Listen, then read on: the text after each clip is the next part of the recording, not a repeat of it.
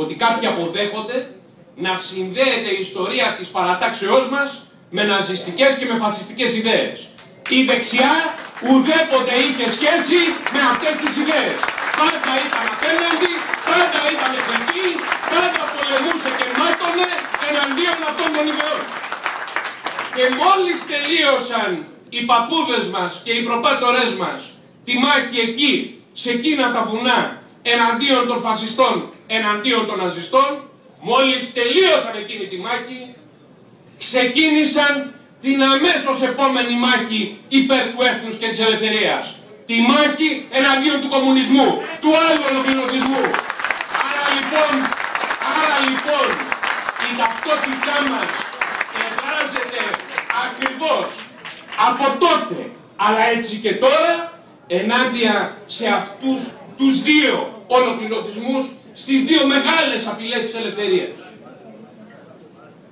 Επομένως, και θέλω εδώ να είμαστε απόλυτα ξεκάθαροι γιατί η καιρή είναι δύσκολη, γιατί η καιρή είναι πονηρή και γιατί υπάρχει η ανάγκη απόλυτης συνέπειας, ευαισθησίας και συντεταγμένης πολιτικής προσοχής. Ο Πρωθυπουργός έχει ξεκάθαρο μέτωπο απέναντι στον εξτρεμισμό, απέναντι στο φασισμό, απέναντι στον ναζισμό, στον εθνικοσοσιαλισμό, απέναντι στις ολοκληρωτικές ιδεολογίες. Το μέτωπο αυτό είναι ξεκάθαρο. Και θέλουμε σε αυτό να κάνουμε ξεκάθαρο και σαφές ότι δεν έχουμε κανένα απολύτως περιθώριο ανοχής και δεν πρέπει σε αυτόν τον τεράστιο αγώνα που είναι αφοσίωση στο έθνος και της ελευθερίας ο Πρωθυπουργός να προδοθεί από οποιονδήποτε από εμάς.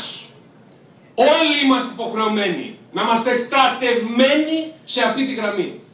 Πόσο μάλλον, πόσο μάλλον στελέχη που έχουν τιμηθεί με την προσωπική φιλία και εμπιστοσύνη του Πρωθυπουργού δεν μπορούν να τον ακυρώνουν, να τον διαψεύδουν και να τον εκθέτουν με ανοησίες, με σφάλματα, με λάθη, με προσωπικές ατέτες, με αποκλήσεις. Δεν υπάρχει περιθώριο εδώ για την παραμικρή ανοχή. Γιατί ακριβώς, όχι μόνο αυτό είναι απολύτως συμβατό με την ιδεολογικοπολιτική μας ταυτότητα, με το ιδεολογικό μας DNA, αλλά αντιλαμβάνεστε και αν η στάση του Πρωθυπουργού δεν ήταν τόσο σαφής, τι θα σήμαινε αυτά στα χέρια των πολιτικών μας αντιπάλων, τι θα σήμαινε η ανοχή απέναντι σε τέτοιου είδους απόψεις, απέναντι στους πολιτικούς μας αντιπάλους και τι είδους αξιοποίηση θα γινόταν. Άρα λοιπόν, για να τα ξεκαθαρίζω και να τα ονοματίζω, δεν είναι δυνατόν ο Γενικός Γραμματέας της Κυβέρνησης να έχει δική του πολιτική ατζέντα, η οποία διαφοροποιείται από την ατζέντα του Πρωθυπουργού.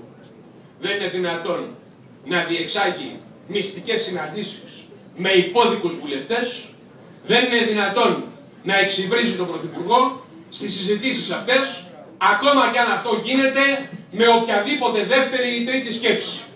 Η γραμμή της Νέας Δημοκρατίας και της κυβέρνησης είναι ξεκάθαρη.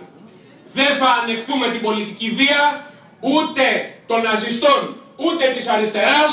Ε, πιστεύουμε στη δημοκρατία, πιστεύουμε στο δημοκρατικό διάλογο, αφήνουμε απόλυτη ελευθερία όλων των απόψεων, αλλά τους τσαμπουκάδες Οποιουσδήποτε θα τους στέλνουμε στη δικαιοσύνη και θα δικάζονται από τη δικαιοσύνη και θα τιμωρούνται ανάλογα με τις